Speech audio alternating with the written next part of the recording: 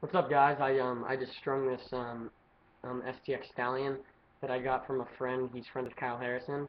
So um I got it for like 50 bucks, and that's really cool. I'm really excited for it. I'm gonna use it during season though. I'm probably not gonna use it during now.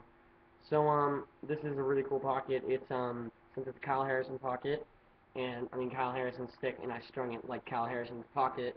Um I am I did the replica for it, but I changed it up with my shooting string preferences.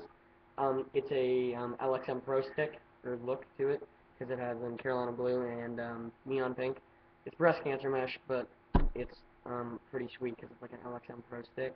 I definitely think Kyle Harrison should have this mesh in this head. It would go perfectly with um, with the LXM Pro Tour.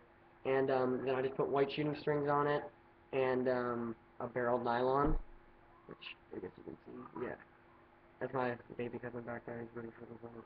But um, and then a um, triangle top string. It's kind of a mix up bo mix up bottom strings or something cool. And um, nice channel. Sorry, it looks kind of crappy actually, right there. Just one sec.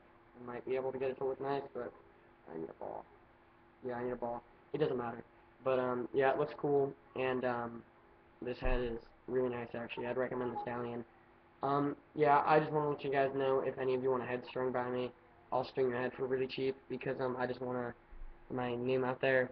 Um, I'm only gonna do it for about one or two people, just so that I can um sorry, just so that I can um do like get get a review on my heads and stuff on my string jobs. So you can just ship it to me and I'll do a review on your um I'll, you can do a review on my string jobs. I'll do it to about two people for probably for free, and you just have to pay for shipping and string supplies.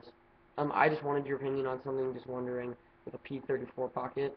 I had some traditionals, and I'm gonna keep one of them, but the other one, it's just kind of, it's nice. It's from West from Colorado, but I don't like adjusting it because I don't like going into a game and it might, I might have to adjust my stick.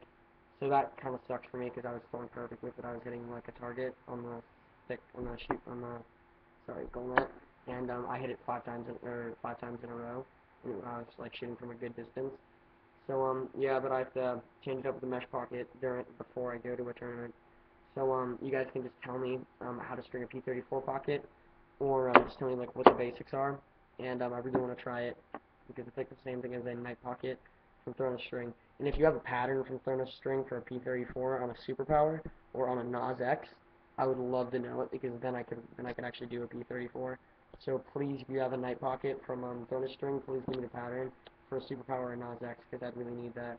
So, um, thanks a lot, guys. Um, if you want to string it up for me, or if you want my wax mesh, I'll sell it to you for $10. So, um, thanks, guys. Like, comment, subscribe, and I'll see you guys later.